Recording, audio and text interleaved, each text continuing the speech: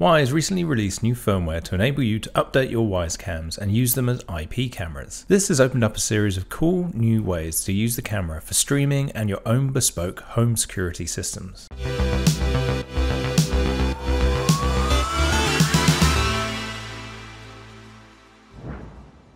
Wyzecam supports their own ecosystem out of the box, but to use your cameras with other non-Wyze setups, it requires some additional work. Now, Wyze has released a firmware update that gives you the power to turn your Wyzecam into an IP camera. The benefit to an IP cam is that it gives you a lot of freedom for where you place your camera. Unlike webcams that need to be plugged into your computer, you can place your IP camera anywhere it can be connected to a power supply and a connection to a Wi-Fi network. The flexibility enables you to be more creative with your stream setup because the camera is not tethered to your streaming computer. For instance, you can add wide angles of your Twitch setup in a greater number of locations, create channels devoted to streaming your pets if their cages and habitats are in different room to your computer, and of course, add additional cameras to your custom home security system. Setup is very straightforward.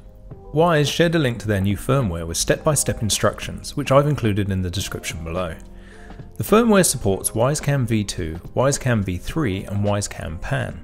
For this video I'm using my Wyzecam V3. The first step was to download the firmware from Wyze's website and transfer it to a micro SD card. It's important to make sure you follow the specific instructions for each device as they're slightly different. Plus, the camera should already be connected to your account via the out-of-the-box setup process.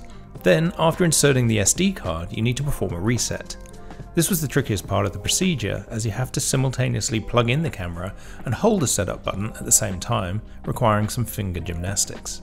After that, you'll see the camera light cycle through red flashing and then turn blue or purple, letting you know your firmware has successfully installed. Now if you go back to the app, the updated camera will be available just as before. To activate the RTSP features, go to Advanced Settings and toggle on the RTSP function. Now give your camera a username and password which will be used to generate a URL that you can use for your IP cam integration. It's worth noting that this is not the same username and password as your Wyze account, so be sure to create brand new credentials for this part for security reasons.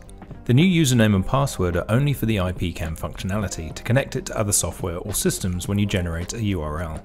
After you've generated your URL, you'll need to use an encoder to be able to broadcast your IP camera. The encoder is the software that converts your IP camera stream into a format that can be viewed on Twitch or YouTube, for example. The most popular encoders on the market are XSplit and OBS, however, YouTube has a handy list of alternatives which I've included a link in the description. For this video, I'm using XSplit Broadcaster. To add your Wyzecam feed, all you have to do is create a scene in XSplit and then choose Add Source, Stream, and then IP Camera. And then enter the URL generated by the Wyze app.